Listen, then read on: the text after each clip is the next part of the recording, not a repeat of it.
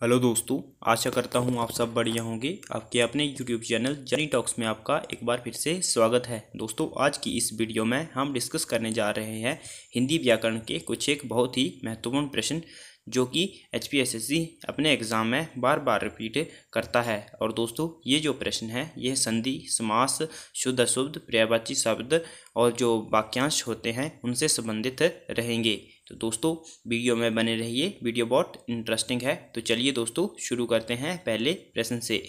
दोस्तों, पहले प्रश्न में आपको बताना है, शुद्ध शब्द बताना है कि कौन सा इनमें शुद्ध शब्द है फोर्टी वन से फोर्टी फाइव तक। दोस्तों, आपको बताना है, अनुसरण कैसे लिखा जाता है? तो दोस्तों, जो अनुसरण है, वो ऑप्शन सी जो है, वो इसका सही रहेगा। अनुसरण ऐसे करके लिखा जाता है।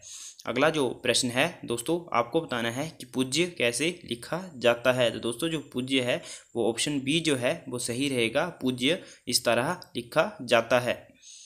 अगला जो प्रश्न है, आपको बताना है, संतुष्ट कैसे लिखा जाता है? तो दोस्तों, जो संतुष्ट है, वह ऑप्शन ए जो है, वो सही हो जाएगा। संतुष्ट इस तरह से लिखा जाता है। और दोस्तों अगला जो प्रश्न है, उसमें आपको बताना है, दीक्षा कैसे लिखा जाता है? तो दोस्तों, आप कमेंट करके बताएँ, इनमें से कौन सा सही आंसर रहेगा? दीक्षा किस तरह लिखा जाता है? अगला जो प्रश्न है, विशिष्ट तो आपको बताना है कि विशिष्ट किस तरह लिखा जाता है। तो दोस्तों, जो ऑप्शन ए है, वो सही हो जाएगा, विशिष्ट इस तरह लिखा जाता है। और दोस्तों, अगले प्रश्नों में आपको समास बताना है, समास बताना है कि कौन सा समास है। तो दोस्तों, बेहद जो है, आपको बताना है, बेहद में कौन सा समास है। तो दोस्तों, बेहद का अर्थ होता है बहुत ज़्यादा, यानी कि इसमें अव्यवी भाव समास है। तो इसका ऑप्शन ए जो है, वो सही हो जाएगा अव्यवी भाव समास।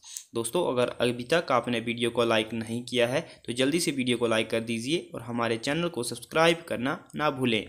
अगला जो प्रश्न है, वो है, आपको बताना है पाप मुक्त में कौन सा समास है? तो दोस्तों, जो पाप मुक्त का अर्थ होता है, वो होता है पाप से मुक्त। यानी कि इसमें दोस्तों, तत्पुरुष समास है, यानी कि इसमें कर्ण तत्पुरुष समास है, ऑप्शन ए जो है, वो इसका सही हो जाएगा, पाप से मुक्त। और दोस्तों, तत्पुरुष समास में कारक का प्रयोग किया जाता है, यानी कि तत्पुरुष समास जो है, इसके आगे भी पाँच छः टाइप हैं। तो दोस्तों, अगर आपको कारक आते हैं तो आप इनको अच्छी तरह से डिफाइन कर सकते हैं। कारक जो है, कर्ता ने कर्म को से के द्वारा संप्रदान के लिए आपादान, संप्रदान के लिए आपादान से जुदाई के अर्थ में अधिकरण, मैं पर संबोधन, हे अरे, भो कुछ इस तरह से।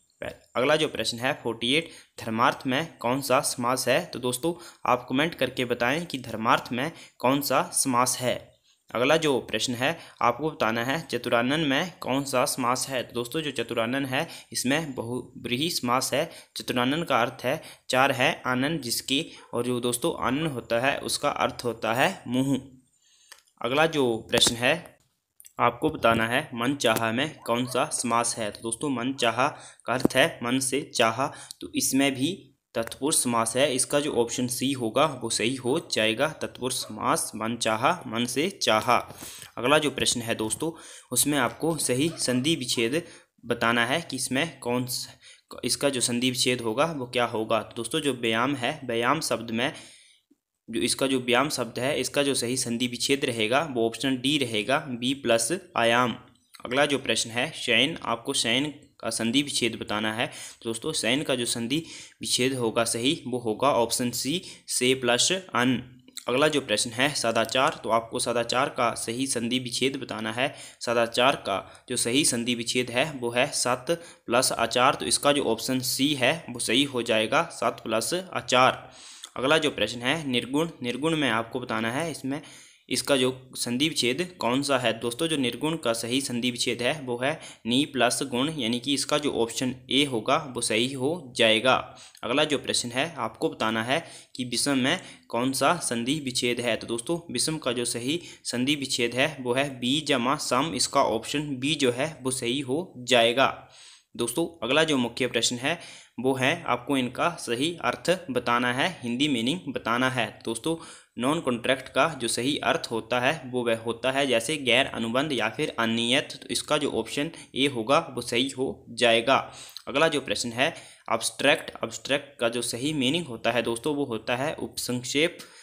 इसका जो ऑप्शन डी होगा, वो सही हो जाएगा। अगला जो प्रश्न है एनेक्सर तो इसका जो आपको सही मीनिंग बताना है दोस्तों एनेक्सर का सही मीनिंग जो होता है, वो होता है नथी। इसका ऑप्शन सी जो है, वो सही हो जाएगा। अगला जो प्रश्न है एडेंडम एडेंडम का आपको सही अर्थ बताना है। तो एडेंडम का जो दोस्तों, सही अर्थ होता है, वो होता है जमा करना सम या एडिशन अगला जो प्रश्न है नेग्लिजेंस तो दोस्तों नेग्लिजेंस का जो सही अर्थ होता है, वो होती है लापरवाही मिस्टेक या फिर प्रमाद। तो इसका ऑप्शन बी जो है, वो सही रहेगा।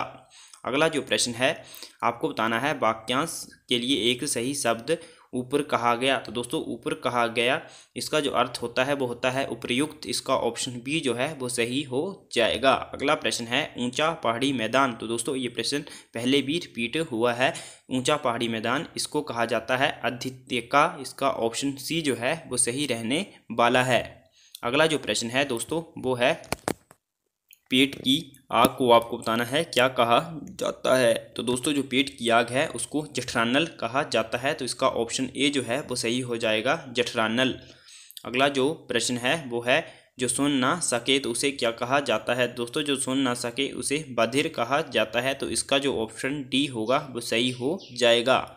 अगला जो प्रश्न है, बोलने में चतुर या निपुण हो, उसे क्या कहा जाता है? तो दोस्तों, उसे बाचाल कहा जाता है। तो इसका ऑप्शन सी जो है, वो सही हो जाएगा। तो दोस्तों ट्वेंटी फाइव हिंदी के प्रश्न कंप्लीट हुए हैं। ये जो प्रश्न है, आगे हिमाचल जीके के, इन दोनों को आप कमेंट करके बताएँ।